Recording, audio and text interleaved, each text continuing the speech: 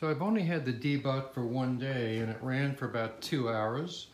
And I'm just gonna empty the bin that collects the debris from the floor.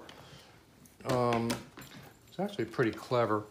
Um, there's a, uh, a brush that can actually be removed. And um,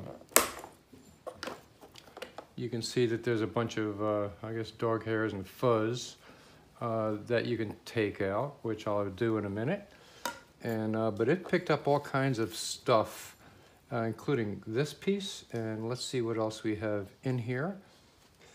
And the piece that uh, collects all the debris is, is this piece. It slides out.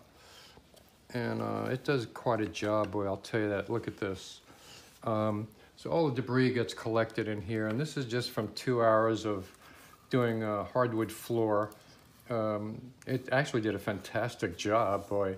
Uh, it even went back into the holder automatically, uh, like they say it does. Uh, but it's doing a fantastic job picking up. It's got these rotating brushes, and it comes with a spare um, set of brushes in the box. Um, and also, it comes with a spare um, filter, just like this, which is great.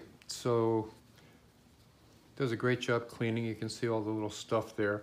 So it's great that it came with the uh, extra filter, the extra brushes. It does a great job cleaning up. First day's impression, real happy with it.